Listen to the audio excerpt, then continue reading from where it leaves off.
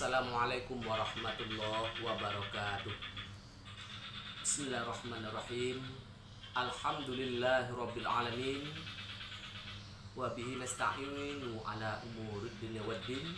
Wassalatu wassalamu ala asrofil anbiya wal mursalin wa ala alihi washabihi ajma'in.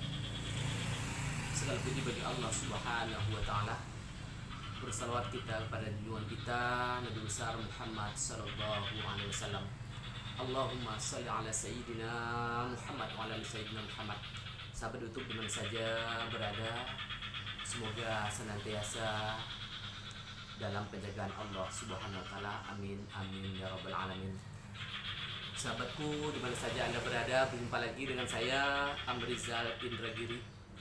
Insya Allah kita akan selalu berbagi ilmu pengetahuan, wawasan, pengalaman seputar ilmu kebatinan dan tenaga dalam juga kita sekali-sekali kita nanti coba uh, sharing yaitu tentang silat harimau indragiri namun pada kesempatan kali ini saya akan mengijazahkan kembali suatu ilmu, suatu pegangan bagi yang hobi kebatinan dan tenaga dalam. Sekali lagi, saya ijazahkan bagi yang hobi. Bagi yang hobi saja ya sahabatku. Yang tidak silakan. Oke sahabatku di mana saja anda berada sebelum saya mengijazahkan suatu ilmu untuk penjaga diri dan sebagainya. Sahabatku di mana saja anda berada ada beberapa catatan penting dari saya. Yang pertama di dalam mempelajari suatu ilmu kebatinan dan tenaga dalam. Di dalam mencari seorang guru atau pembimbing spiritual pesan saya satu harus kaya referensi. Saya tidak menyarankan kepada saudaraku di mana saja anda berada hanya tok menggali ilmu kebatinan dan tenaga dalam. Dari channel saya saja tidak. Akan tetapi hendaklah sahabatku di saja anda berada kaya akan referensi ilmu kebatinan dan tenaga dalam. Suatu contoh anggaplah itu suatu uh, ilmu untuk penghancur santet atau teluh guna-guna sihir dan sebagainya. Sahabatku saya contohkan seperti ini. Ketika saya merupiah berhadapan dengan pasien yang dihantam oleh dukun-dukun santet yang kena sihir oleh pelaku sihir dan sekutunya saya biasanya menggunakan ayat kursi. Kita contohkan. Sahabatku di mana saja anda berada tidak selalu ayat kursi ini uh, pas untuk pasien-pasien uh, kita yang kena santet ataupun sihir.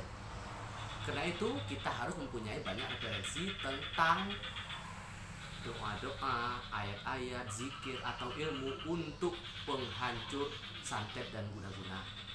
Sahabatku, itu adalah satu contoh. Karena itu saya sarankan untuk sahabatku di mana saja Anda berada harus kaya referensi. Jangan ketika kita terjun ke lapangan, ketika kita membutuhkan kita menjadi mati kutu.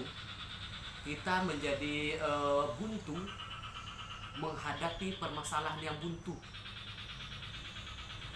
Nah, mulai dari sekarang saya sampaikan harus kaya referensi tentang ilmu tenaga dalam dan kebatinan. Oke, sahabatku di mana saja Anda berada.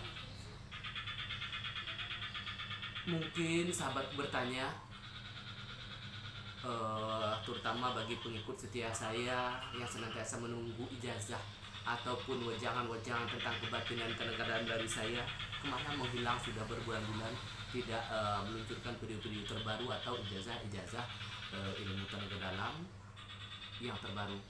Saya jawab, saya sampai detik ini masih belajar, masih dalam tahap belajar, menggali, menggali dan terus menggali tentang suatu ilmu kebatinan. Kenapa? Karena saya tidak mau terjebak ketika saya dihadapkan ke suatu permasalahan kita kehabisan ilmu, kehabisan referensi tentang ilmu tenaga dalam turun kebatinan. Jujur sampai saat, saat ini saya masih belajar dan terus belajar. Oke, sahabatku di mana saja Anda berada, mudah-mudahan sahabatku di mana saja Anda berada bisa mengambil hikmah, memetik hikmah dari apa yang saya sampaikan. Ini semata-mata tujuannya supaya kita tidak menghadapi uh, sesuatu permasalahan yang buntu, yang tidak ada jalan keluarnya. Sahabatku, di mana saja Anda berada, pada kesempatan kali ini saya sudah siapkan suatu ilmu kebatinan yang akan saya ijazahkan. Yang mana ilmu ini sangat penting. Sangat penting kenapa? Bagi kita yang hobi kebatinan kita kadang-kadang uh, kita lengah kadang-kadang kita lupa kadang-kadang kita lalai. Contoh ketika keluar dari rumah banyak dari kita lupa membaca doa ketika keluar dari rumah. Padahal sangat singkat dan sangat uh, ringan untuk dibaca. Bismillahirrahmanirrahim. Ketika naik kendaraan kita tambah lagi. Bismillahirrahmanirrahim. Wa mursaha inna inna banyak yang lupa. Nah ketika itu kita harus mempunyai benteng lain perisai lain yang untuk menjaga uh, diri kita tubuh kita dari sesuatu yang berbahaya dari sesuatu yang bermudarat. Nah, karena itu sahabatku pada kesempatan kali ini saya sudah siapkan saya akan suatu ilmu yang mana ketika kita dalam keadaan darurat ada pesan ada kabar dari alam gaib. Apakah yang berbicara langsung pada kita? Apakah uh, ada bisikan-bisikan? Contoh oh kamu jangan berangkat jam sekarang. Kamu tidak boleh berangkat besok. Kamu harus berangkat hari ini jam ini dan sebagainya. Ada bisikan ada pesan dari alam gaib sehingga kita tidak terjebak dalam suatu uh, rencana-rencana musuh atau kita tidak terlibat dalam sesuatu yang membahayakan diri kita. Oke, sahabatku, di mana saja Anda berada, inilah yang saya maksudkan yaitu pesan gaib. Pesan gaib ini maksudnya kita mendapat pesan sebelum kita menemui uh, sesuatu yang berbahaya, malah bahaya kita sudah terlebih dahulu mendapatkan pesan dari alam gaib. Oke, sahabatku, di mana saja Anda berada, langsung saja uh, inilah saya beri nama ilmu ini pesan alam gaib. Saya baca dulu dengan menyebut nama Allah yang Maha Pengasih lagi Maha Penyayang. Saya ijazahkan ilmu ini kepada saudara-saudariku di mana saja Anda berada.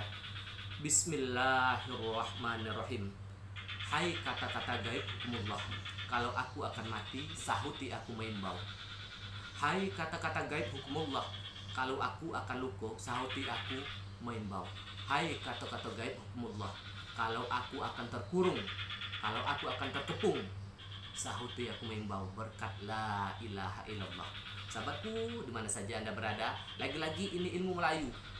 Kenapa saya katakan ini ilmu Melayu? Ilmu Melayu ini eh, seputaran Pulau Sumatera. Kalau ilmu orang-orang Sumatera itu uh, itu bunyinya mirip sekali dengan pantun sebagaimana ilmu saya yang saya jelaskan sebelumnya. Saya ulangi lagi sahabatku. Saya sebut ilmu ini adalah pesan alam gaib Bismillahirrahmanirrahim. Hai kato-kato gaib hukumullah. Kalau aku akan mati sahuti aku maimbau Hai kato-kato gaib hukumullah. Kalau aku akan luko sahuti aku maimbau Hai kato-kato gaib hukumullah. Kalau aku akan terkurung kalau aku akan terkepung sahuti aku bau berkat la ilaha illallah. Sahabatku di mana saja anda berada untuk lebih jelas ini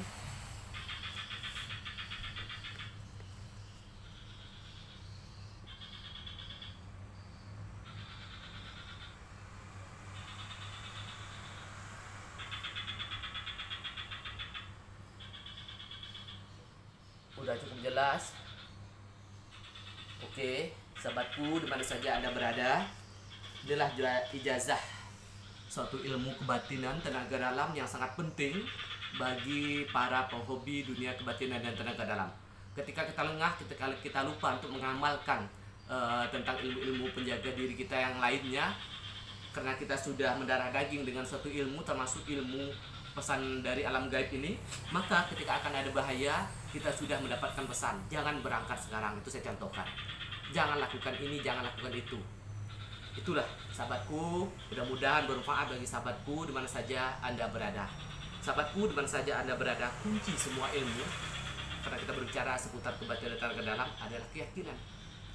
Nah sahabatku di mana saja anda berada usahakan hafal ini dulu. Tetapi sama dengan video sebelumnya ketika dalam keadaan darurat cukup kita ingat saja. Saya ulangi satu kali lagi. Bismillahirrahmanirrahim. Hai kata-kata gaib hukumullah. Kalau aku akan mati sahuti aku main bau. Hai kata-kata gaib hukumullah. Kalau aku akan luko sahuti aku main bau. Hai kata-kata gaib hukumullah. Kalau aku akan terkurung Kalau aku akan terkepung sahuti aku main bau. Berkat la ilaha illallah. Mudah-mudahan berguna bagi sahabatku terutama bagi sahabatku yang hobi kebatinan, yang lagi di perantauan, yang tinggal di daerah sesuatu yang sangat berbahaya, banyak kejahatan-kejahatan dan sebagainya. Mudah-mudahan ilmu ini sangat berguna. Dengan perentaraan ilmu ini Allah jaga kita semua. Amin amin ya alamin. Lebih dan kurang mohon maaf. Wabillahi taufiq wal hidayah. Wassalamualaikum warahmatullahi wabarakatuh.